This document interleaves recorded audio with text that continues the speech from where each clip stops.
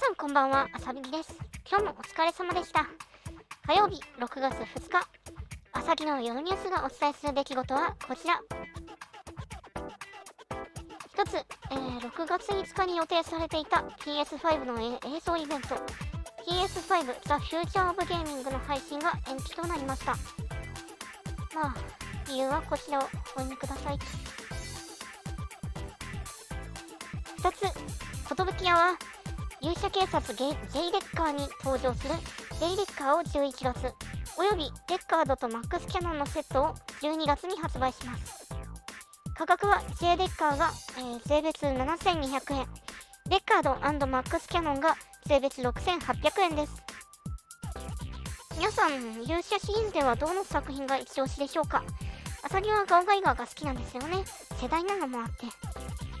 現在、サンライズの YouTube チャンネルで勇者シリーズの限定公開が行われているので、そちらも見てみてください。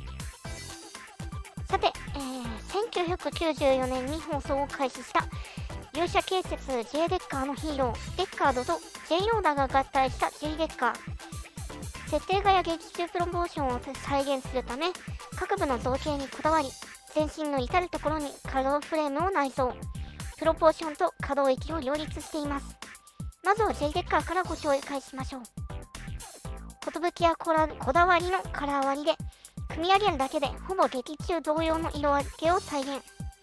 あえて合体機構を捨てることで、可動に特化したフレーム機構を備え、あえ、見た目も動かしやすさも両立。全身に引き出し関節があり、安定した設置性とポージングでかっこいい。ハンドパーツは様々な表情があり、スーパー系でおなじみの熱いポージングにエッセンスを加えます。平手、右手、武器持ち手と、え武器に添える手、指差し、敬礼もありますね。付属する装備は、ゼイバスターと電磁警棒、そしてマックスキャノンを接続するためのアーマーパーツ。J バスターは、えーパーツの差し替えでガンモードに変更可能です。この後ご紹介するデッカードに付属するマックスキャノンがあれば J デッカーマックスキャノンモードに。続いて、えー12月に発売予定のデッカード。こちらも J デッカーと同様造形のこだわりや可動フレームの内蔵もあり。そしてデッカードには特徴である顔のパーツ差し替え用で3種付属します。これに加えて拳銃を持つ右手警察手帳を持つ左手えー海兵した2つの状態の警察手帳。ハンドパーツ3種が付属します。でですね、えー1月に発売されたクロスフレームガールガオガイガーの素材素材ともいえるブレイブガールをご存知でしょうか。これにはですね胸に胸や手足に接続用の軸があるのでこんな風にね装甲をつけられます。各部が 3mm、えー 5mm のジョイントで構成されているため他のフレームアース FAR にも装着できます。遊びの幅が広がって楽しいですね。発売をお楽しみに。3つ、えーこちらも寿屋から。フィギュアシリーズアート FXJ より、えー僕のヒーローアカデミアオールマイトと戸賀卑弥呼が10月に発売決定。価格はオールマイトが税別1万500円。戸賀卑弥呼が税別1万あじゃないや。9200円。今日から予約受付開始です。オールマイトは力強く力強く張り詰めた筋肉。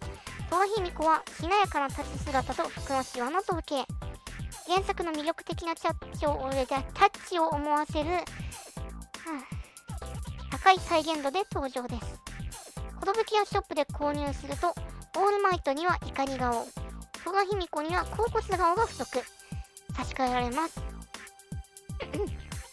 気になる方はぜひご予約を。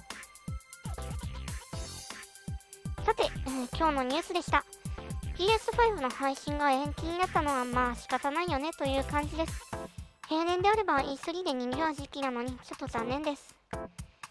はい、えーニュースが良かったよって思えた人は高評価を。続けて聞きたくなったなって人はチャンネル登録をお願いします。